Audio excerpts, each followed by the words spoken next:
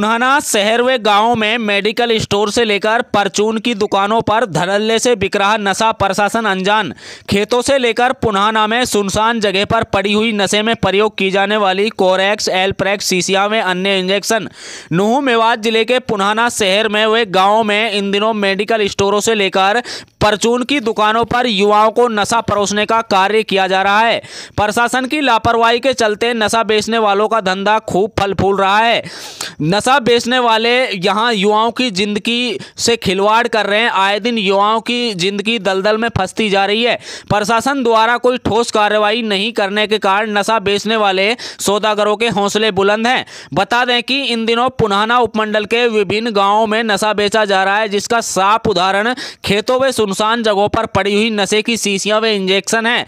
पुनहाना के समाज सेवी यूसुफ बिगोत ने बताया कि पुनहाना की लगभग सभी मेडिकल स्टोर एवं गाँव में खुली हुई परचून की दुकानों पर नशे में प्रयोग की जाने वाली दवाई, कोरेक्स, एलप्रेक्स इत्यादि अन्य इंजेक्शन आसानी से मिल जाते हैं। नशे के आदि युवा जिनको औने पौने दामों में खरीद कर अपनी नशे की हवस बुझाते हैं, कुल मिलाकर इन दिनों नशे के सौदागर युवाओं को नशा परोसने तथा उनको औने पौने दामों में बिक्री कर खूब चांदी कूट रहे हैं। समाज सेवी यूसुफ बिगोत ने स्थानीय प्रशासन पर आरोप लगाते हुए कहा कि उन्होंने इस बाबत कई बार स्थानीय प्रशासन के साथ साथ सीएम विंडो के मार्फत हरियाणा के मुख्यमंत्री मनोहर लाल खट्टर को लिखित शिकायत भी दी है। लेकिन ड्रग्स विभाग की टीम भेज दी जाती है। टीम के आने से पहले ही कुछ प्रशासन के ही कर्मचारी अधिकारी उनको सूचना दे देते हैं, जिससे अभी तक इलाके में कोई ठोस कार्रवाई नहीं हो सकी। उन्होंने आरोप लगाते हुए कहा कि स्थानीय विभाग व अधिकारियों की मिली भगत के कारण नशा बेचने वाले सौदागरों पर कोई ठोस कार्रवाई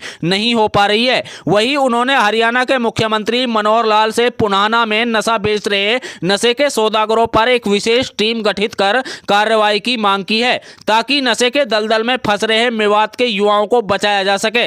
अब देखना ये होगा आखिरकार जिला प्रशासन इस मामले पर कब तक कोई ठोस संज्ञान लेता है और कब तक इस नशे के सौदागरों का पर्दाफाश हो पाता है। देखिए रिपोर्ट। ये मनोहर लाल खट्टर की सरकार है हरियाणा में और स्वास्थ्य विभाग की ड्रग्स इंस्पेक्टर की वो जो ढील थी इस तरीक़ा से कोरेक्स और मेवात के जो नए युवा हैं, उनकी हालात किस तरीक़ा से ख़राब करी जा रही है? और जो यहाँ की स्वास्थ्य विभाग की जो टीम है, वो अपनी आँख बंद कर कर बैठी हुई है। वो किसी भी नशेड़ी पर कोई छापामारी नहीं करती, जहाँ आम दुकानों पर बिक्री हैं ये।